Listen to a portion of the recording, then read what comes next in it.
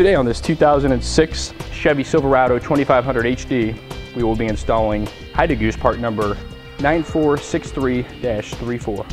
We're underneath the vehicle and the first thing we want to do is go ahead and take the spare tire out and, and, get it out of our way. Next thing in preparation, we want to go ahead and lower the exhaust off of its two rearmost hangers. We've got one right here and one forward up here.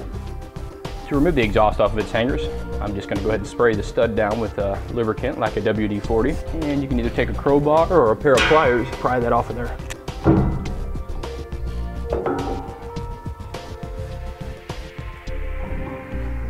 The next step is to go ahead and remove the heat shield over the section just forward of the rear axle here. From here to here is the section that we need removed. And we can do this by one of two ways. We can go ahead and unscrew the entire heat shield by removing the bolts that are holding it on, or we can just take a cutting tool and go ahead and just cut that section out, which is what I'm gonna go ahead and do.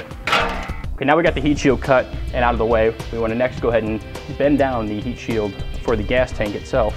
That will interfere with the cross members when we go to put those into place. Okay, now that we're up in the bed, we wanna go ahead and take the dimension that is specified in the directions and go ahead and mark out and drill our hole for our Hide-A-Goose.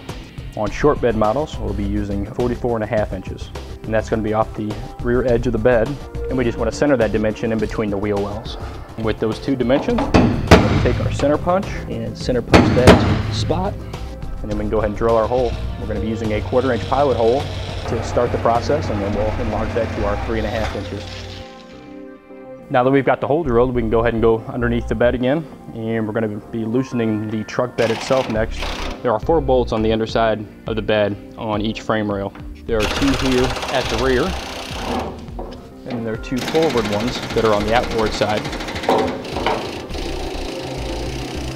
I want to make note here before we go ahead and slide our cross members into place. You'll notice that the two cross members are a little bit different. The front rail has numerous holes here at the top and two carriage holes here on the side.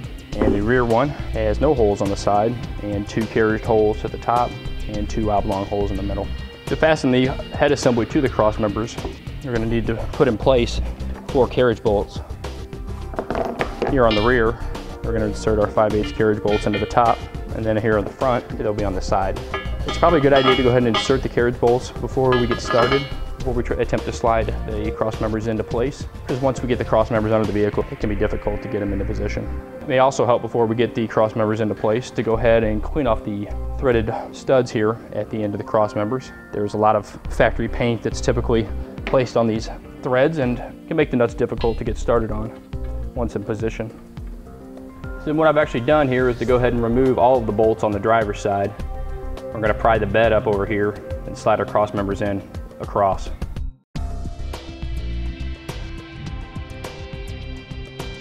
We'll want the rear one seated against the hat channel here, and we can kind of leave the front one loose for the time being. We'll go ahead and set up our frame brackets now, and that'll kind of help us align our cross members into place. Now we're here at the east side of the bed. We're gonna go ahead and just very loosely install our frame brackets to get everything aligned. What I'm gonna do is go ahead and hang the frame bracket here. I'm starting on the driver's side. On the six foot bed, we're gonna go ahead and align it with the front hole and the second to last hole here. And you can see how the cutout for the hat channel slides around perfectly. And you can see here our frame bracket aligns with the oblong hole in the frame.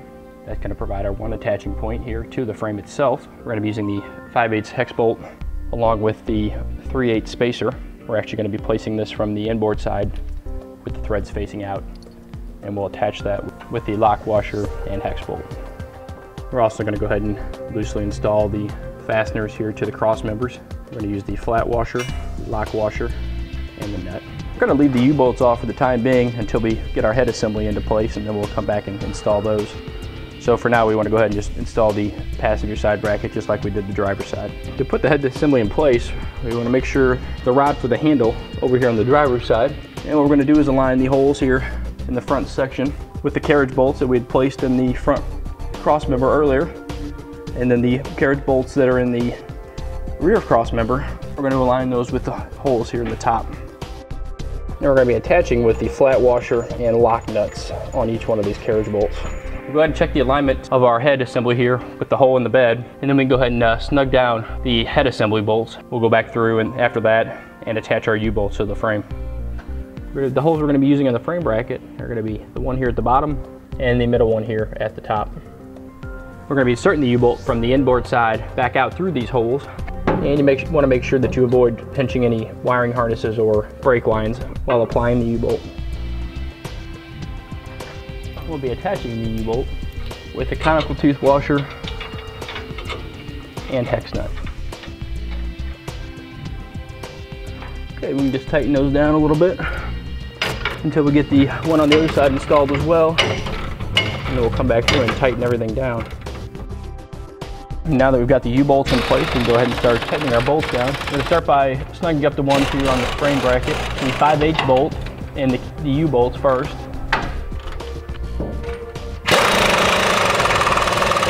And again, we just want to repeat that process for the passenger side as well. Okay, now we're going to go ahead and torque the bolts down. We're going to start by torquing the frame brackets to the frame of the vehicle, uh, followed by torquing the cross members to the frame brackets.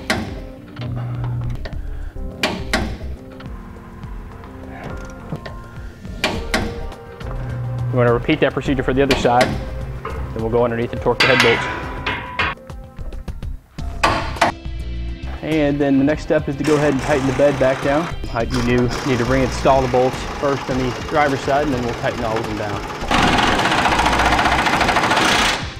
Okay, now that we've got the bed tightened down, we can go ahead and drill out our safety chain holes.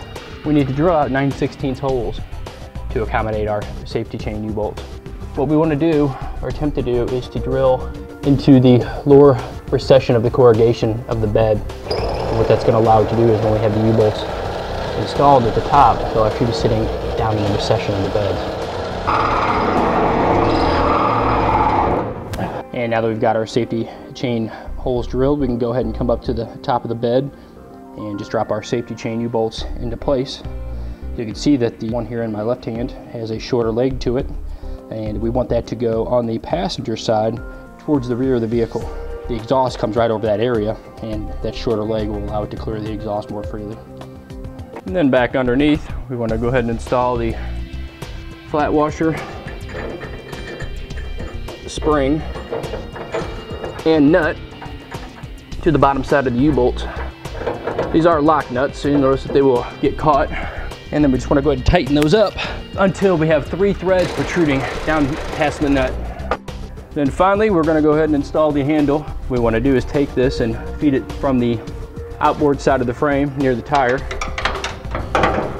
and insert it into the release portion of the head assembly. What we want to do is to take and align both the holes in the handle and the hole in the release assembly and then we'll take the cotter pin and slide it through there, holding the two in place.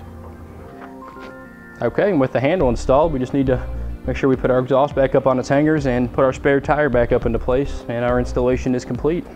For the basic overview of the assembly here, when you want to release the gooseneck ball, you just take and pull the handle out, slide it off to the side until it catches, and then you can easily pull the hitch ball up. Then you want to reinsert it, slide the ball back in, pull the handle out until it unreleases and locks right back into place. This will conclude the installation of Hide-A-Goose part number 9463-34 on a 2006 Chevy Silverado 2500 HD.